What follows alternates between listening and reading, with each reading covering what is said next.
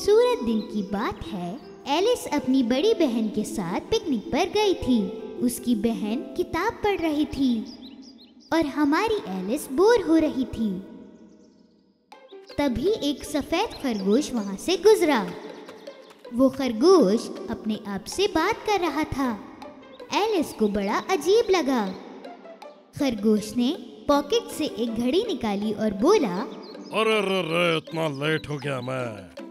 Alice ये सब देखकर हैरान हुई। उसे और जानना था।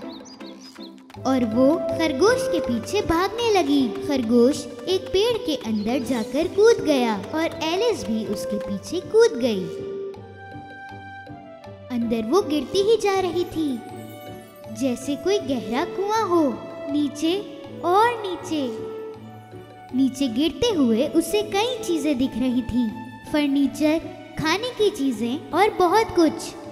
उसकी जैसे दुनिया ही घूम रही थी। आखिर में वो एक गद्दे पर जा गिरी। उठते ही उसके सामने एक कॉरिडोर था। बहुत लंबा। वो उस पे चल के जाने लगी। उसे कई सारे दरवाजे दिखे जो बंद थे। अचानक खरगोश गायब हो गया। अब वो सोचने लगी कि वो बाहर कैसे निकलेगी। तभी उसे एक टेबल पर एक सोने की चाबी दिखी। उस चाबी को उसने उन दरवाजों में डाला, पर चाबी बहुत छोटी पड़ रही थी। यहाँ वहाँ देखने पर उसे पर्दे के पीछे छुपा हुआ दिखा एक छोटा सा दरवाज़ा, और उसमें चाबी डालते ही दरवाज़ा खुल गया।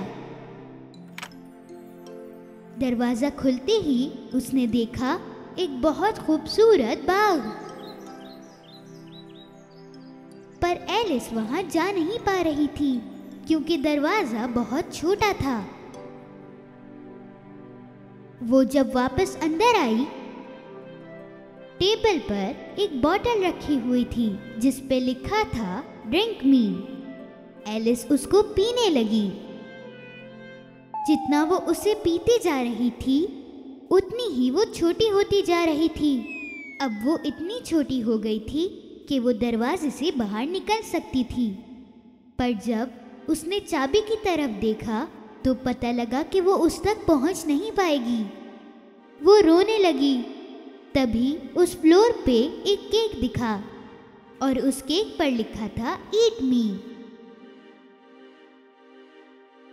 एलिस ने उस केक से एक टुकड़ा निकालकर खाया। खाते ही वो वापस बड़ी होने लगी। अब वो चाबी तो उठा सकती थी, पर उस दरवाजे से कैसे निकलेगी? एलिस बहुत दुखी हो गई। वो फिर से रोने लगी। वो इतनी रोई कि पूरा कमरा आंसुओं से भर गया।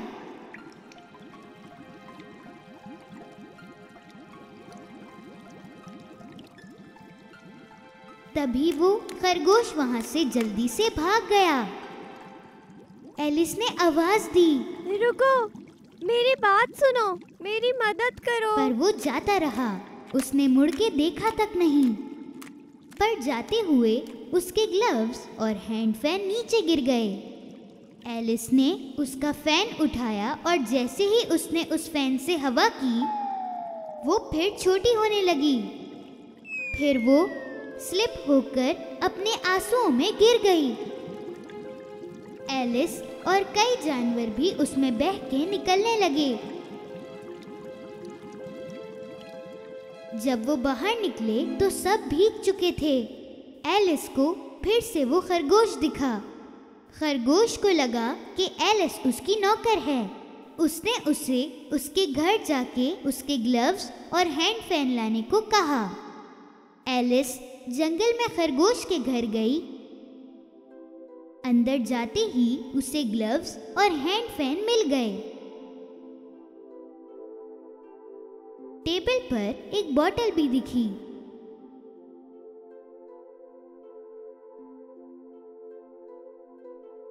उसने बोतल लेकर वो जादुई शरबत पूरा पी लिया। वो इतनी बड़ी हो गई कि घर के अंदर हिल भी नहीं पा रही थी। दूसरी तरफ़ खरगोश एलिस के लिए वेट कर रहा था। एलिस से डरकर सारे जानवर घर पर पत्थर फेंकने लगे।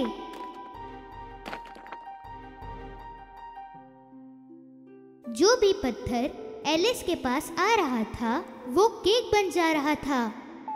एलिस ये केक खाते ही फिर छोटी हो गई और उस घर से निकल सकी। पर इस बार वो बहुत ज़्यादा छोटी हो चुकी थी। इतनी छोटी कि वो पेड़ पौधों के बीच गुम हो रही थी। वापस नॉर्मल साइज़ में कैसे आए वो? उसे दूर एक पपी दिखाई दिया। उसने उसे अपनी तरफ़ बुलाया। उसके पास आते ही उसे पता चला कि वो कितनी छोटी हो गई थी। वो पपी के कुचले जाने से बाल बाल बची। वो भागती हुई एक मशरूम से जा टकराई। उस पे एक ब्लू कैटरपिलर बैठा था। एलिस ने उससे पूछा कि मैं कैसे नॉर्मल हो सकती हूँ। कैटरपिलर मुस्कुराकर बोला मशरूम का एक साइड तुम्हें छोटा कर सकता है और दूसरा बड़ा। एलिस ने एक छोटा मशरूम का टुकड़ा खाया और वो इतनी बड़ी हो गई कि उसे अपने पैर ही नज़र नहीं आ रहे थे।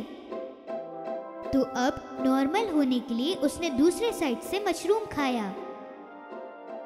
दोनों साइड से थोड़ा थोड़ा खा के वो आखिरकार अपने नॉर्मल साइज़ में आ गई। दोनों साइड से अपने हाथ में एक एक टुकड़ा लेकर रखा। आगे बढ़ते हुए उसे एक छोटा सा घर दिखा। पर उसके अंदर जाने के लिए उसे फिर छोटा होना था। मशरूम का टुकड़ा खा के वो छोटी हो गई। घर के अंदर एलिस किचन में पहुँची। वहाँ एक औरत अपने बच्चे के साथ खड़ी थी। और वहीं एक मोटा बिल्ला भी था। एलिस पे हंस रहा था। एलिस पे पहली बार कोई मुस्कुराता हुआ बिल्ला देखा। उसने पूछा आपका बिल्ला हंस क्यों रहा है? क्योंकि ये एक चशर कैट है। औरत ने ऐसा कहा। तभी वो बिल्ला गायब हो गया और औरत का बच्चा रोने लगा। औरत ने बच्चा एलिस को दिया। तुम इसे सुलाओ जब तक ये सो ना जाए। मैं क्वीन के साथ क्रॉकरी खेलने जा रही हूँ। एलिस ने बच्चे को खिलाना शुरू किया। तभी वो बिल्ला वापस से सामने आ गया और हंस के बोलने लगा। तुम्हें मैट हटर और मार्च चेयर को ढूंढना होगा। संभल के वो दोनों पागल हैं। ये कह के वो बिल्ला फिर से गायब हो गया। एलिस ने गुस्से में बिल्ली से ऐसा कहा तुम ये बार बार गायब होना और वापस आ जाना बंद करो। मुझे डर लग रहा है। बिल्ला फिर से आया और बोला ठीक है ठीक है मैं आहिस्ता आहिस्ता गायब हो जाता हूँ। पहले पूछ गई फिर पेट और पैर सिर्फ़ चेहरा ही रह गया था। एलिस बाहर गई और उससे मांझ हेयर का घर मिल गया। मांझ हेयर मैड हैटर के साथ चाय पी रहा था। मांझ हेयर के कानों के बीच अजीब से बाल थे। एलिस को समझ भी नहीं आया कि क्यों, और मैड हैटर ने एक हैट पहन रखा था। एक चूहा आराम से टेबल पर सोया हुआ था और ये दोनों इसे तकिए की तरह इस्तेमाल कर रहे थे। एलिस के आते ही दोनों चिल्लाए कि जगह नहीं है। इतनी सारी तो जगह है। मैट हैटर एलिस से पूछता है क्या तुम जानती हो ये चूहा ऐसे क्यों सो रहा है? तुम बताओ क्यों? मुझे नहीं मालूम। एलिस इन दोनों की बातों और सवालों से परेशान हो गई। ये सबसे बेकार मीटिंग थी।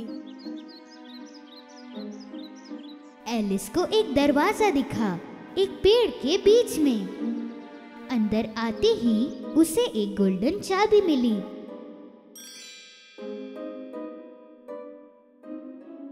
उस चाबी से एक दरवाज़ा खुला गार्डन का। गार्डन बहुत खूबसूरत था। ये गार्डन था क्वीन ऑफ़ हार्ट्स का और सारे वाइट रोजेस को रेड पेंट किया जा रहा था।